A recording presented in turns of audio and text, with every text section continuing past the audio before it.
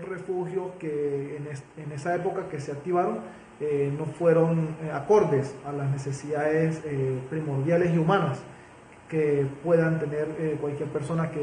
cae en estado de, damnificado como tal y no están aptos para vivir en, este, en estas instalaciones. Son instalaciones de la unidad de Sinal y Barroso que son instalaciones deportivas, incluso el, el refugio de lo que es el Funtaes es un refugio de una casa eh, de la Asociación de Vecinos del barrio El Río, en el cual eh, queda por debajo del nivel de la calzada y, cuando, y cuando hay inundación del río Torres, eh, se ve afectado.